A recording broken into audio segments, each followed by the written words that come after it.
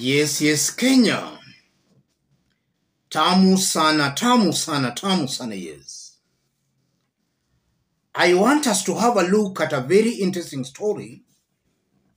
A story that is going to inform our analysis in this video. Public Service Commission shortlisted candidates for the position of the chairperson of the Commission on Revenue Allocation. And if you look at the names, let's jump down there. Interview date Thursday, 11th May 2023.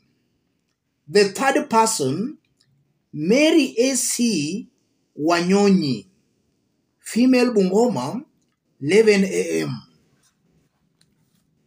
That individual has been confirmed as Wafula Chebukati's wife.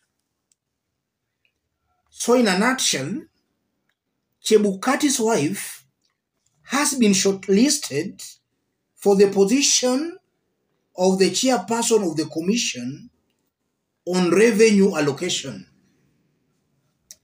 And that's a story that has been causing a lot of heated political debate across the board. And the reason is simple. If you look on how William Ruto is giving jobs in his government, it's now a fact. No doubt about that. Brother, no doubt about it. That William Ruto is rewarding those who campaigned for him, all those who are supporting him politically. Look at all the appointments Ruto has made. He is rewarding those who, in one way or the other, helped him during the 2022 campaigns. In this video, I want us to dig deep into this story, in which I'll explain what this means and what it portends politically. If you are watching us but you have not yet subscribed, subscribe, give this video a like. Let's proceed. Yes. For Chebukati's wife to be shortlisted for a government's job, that only confirms Ruto is rewarding Wafula Chebukati. So it might be true, as Azimio has been saying, but 2022 presidential election was rigged.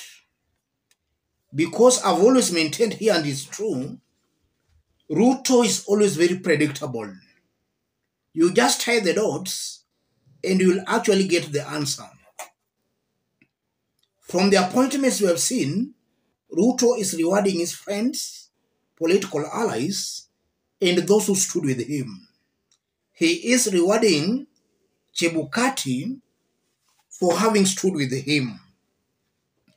And that goes on to confirm that we don't have independent institutions in Kenya, be it EACC, be it Director of Public Prosecution, whichever, all these arms of government are not independent. And that's why it's now important for IEBC.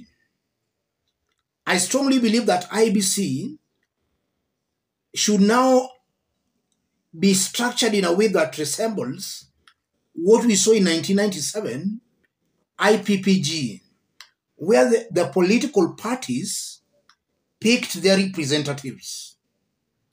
This whole aspect of pretending that we have independent institutions, that's not the case. No independent institutions in Kenya. And then something also worth noting, I'm seeing a very high possibility where William Ruto is really trying very hard to compromise the judiciary. And already from the kind of a ruling that came from the Supreme Court, the highest court in the land, it was very clear that the ruling was also skewed in favor of William Samoei Ruto. So it might be possible it was a long con. A con that IEBC was part of, the Supreme Court was also part of it. It was a long con, ladies and gentlemen. And the disadvantage of such kind of appointments is that these individuals being appointed into public positions will not be able to deliver. They will not be able to deliver. And the, the reason is simple the appointing authority is their close friend. So they feel simply because the appointing authority is someone they know, no need for them to deliver. And that's why Kenyans will still continue getting bogus services from the government. I strongly believe that this is something Kenyans should actually reject. That system, Kenyans should gang up to reject that system. And Kenyans should not underestimate their strength. If Kenyans across the board can say no, enough is enough, we, Kenyans can bring a stop to this madness we are seeing in William Ruto's government. If only Kenyans can say enough is enough, this madness can be brought to an end. If you look at William Ruto, when he was campaigning and now as the president again, Ruto is doing the exact opposite of the things he was saying. He was talking of Mama Mboga, boda boda hustlers, watu wa viosk. I don't just know whether Chebukati's wife is a Mama Mboga. That's something that I can't just understand. Because Ruto said he was going to form a government with the so-called hustlers. The appointments he has made, I'm not seeing any hustler. In fact, those are billionaires and millionaires, close associates of William Ruto. So it's actually true that Ruto lied to the hustlers. He used them to get votes. Now that he got their votes, he has just literally dumped them like a hot potato. Yes, that's coming out very clearly. And that should be a lesson to Kenyans. Next time when you go to the ballot, or rather when you go to cast your vote, be very careful on the type of an in- individual you are voting for. Look at a leader's track record. If a leader is known to be lying, the leader will still continue lying, even if you were to give him or her your vote.